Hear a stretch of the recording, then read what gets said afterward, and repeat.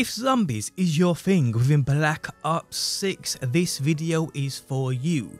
I bring you everything new in regards to content coming with Season 1 Reloaded. New weapons, new augments, new absolutely everything. Today guys, I have you covered. How's it going guys? My name is DPJ now I'm still giving away 5000 COD points on a weekly basis. To win it's as simple as this. Drop a like on this video, leave me a comment down below and make sure you are subbed. Winners will be picked from the comment section and announced at the end of the week. So good luck everybody. Okay, so season 1 reloaded, which arrives not long at all now. I mean, by the time you watch this video, it's probably already here.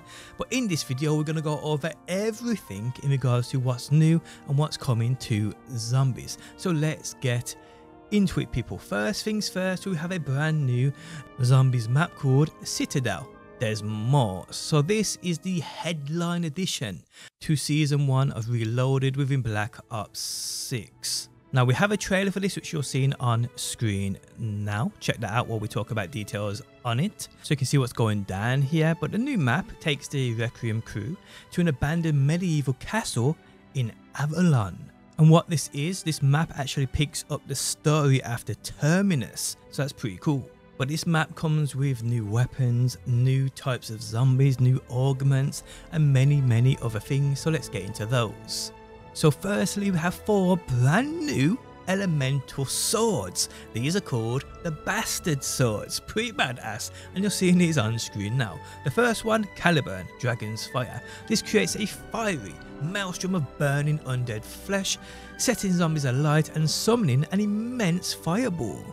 We have Durandal, Stagger the Storms, summon thunderous power from the skies, discharging a voltaic power to stun and stagger, before an electrical beam serves up a severe searing. We have Balmung, Raven Shadow, cast your rotting foes into the ethereal abyss, warping nearby enemies with a focused liminal tear. And then guys you have Solis, Lion of Light, the warmth of light courses through you and sends foes screaming into darkness. Now, as far as I'm aware, these new swords, these will take up the spot of your melee weapon. So that's pretty cool. And they do look absolutely badass. Now something you should be aware of if you do play zombies, if you complete the main quest successfully with this new zombies map, Citadelle des Morts. Uh, rewards include the Jackknife Operator's skin for Weaver, 5000 XP, and a unique calling card only available when you complete this quest before Directed Mode is released early next year. So don't hang about, get this done guys and get those exclusive rewards. I know many many people missed out on these on the previous maps so yes do what you gotta do. We also guys have many many other new features too including a few gobblegums so you have the power keg gobblegum this spawns a full power. We have the time out gobblegum temporary stops the round giving guys a break to readjust get their shit together. Pretty cool. We have the holiday cheer gobblegum all zombies spawn with festive gear. Pretty badass. Then guys we actually have a mod called the light mend ammo mod. Zombies drop health orbs pretty badass. We then have the Vulture Aid perk, zombies drop ammo, salvage and more. We have the Tesla Storm field upgrade, shocks and damages surrounding enemies. We have 18 new augments, which we'll talk about in a quick second. We have the hand cannon craftable weapon support, and we also, guys, have the Doppelghast new enemy, which you're seeing on screen now. You saw in that trailer. Evil. Okay, so the new augments we have here, these are the Vulture Aid major augments first. We have the Fetid Upgrade. On death, zombies have a chance to create a gas cloud that charges your field upgrade. We have the Smell of Death. On death, zombies have a chance to create a gas cloud that conceals you while standing in it. Then we have Parting Gift. Vulture Aid ammo drops give you more ammo to wonder weapons.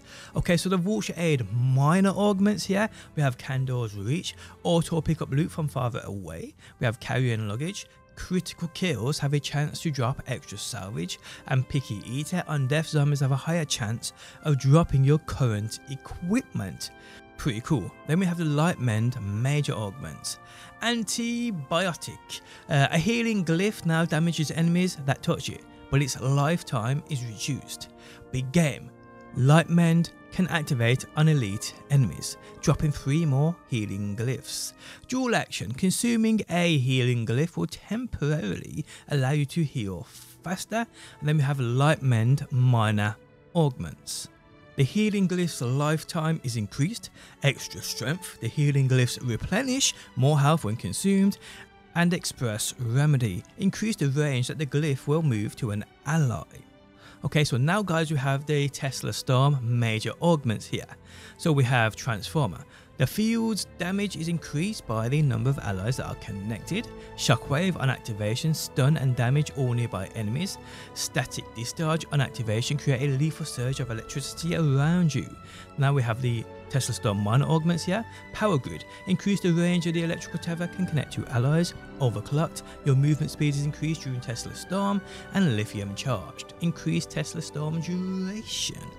Pretty badass. Now we actually move on guys to Season 1 Reloaded gameplay changes that affect zombies. Okay, so Mangler spawns reduced to mid to high rounds only.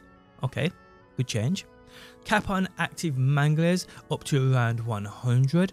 Mangler's arm cannon easier to shoot off now. And special rounds will now be way shorter. Cool. Okay, so what about wonder weapons?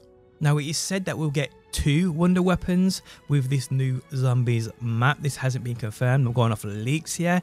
That is the Umbral Blade and the Wunderwaffe DG2. So take this with a pinch of salt, people. There are also new weapons come with Reloaded, but these are obviously earned in different ways via different events that come into multiplayer as well, but will be available in Zombies 2. We have the Maelstrom Shotgun, the AMR Mod 4 Sniper Rifle, one I cannot wait for, and we have the Cleaver Melee weapon. So these are new weapons spread across both multiplayer and zombies.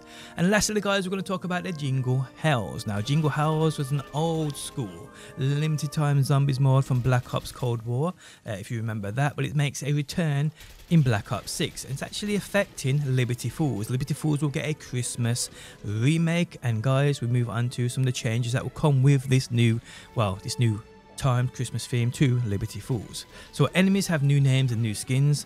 Arsenal Machine is now gone. Snowballs return, uh, which can be used to freeze and kill zombies like they could before.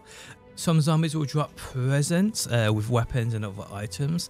Special rounds where you slow down and freeze, forcing you inside to take shelter. Pretty badass. This is new, by the way, I do believe. We then have Naughty or Nice Power Up. Uh, so Naughty spawns Plague Hands for 30 seconds, and Nice drops you a present. So yes guys, as far as I'm aware that is all the details we know of so far in regards to season 1 reloaded and the brand new zombies map which I'm pretty sure you guys cannot wait for. That should arrive in probably a day or so now. Uh, so yes, all the details. Hopefully I had you covered yeah. Guys, if you enjoyed the video, leaving a like really helps out. If you like what you see and want to see more, be sure to subscribe. And hopefully, guys, I will see you on that next one.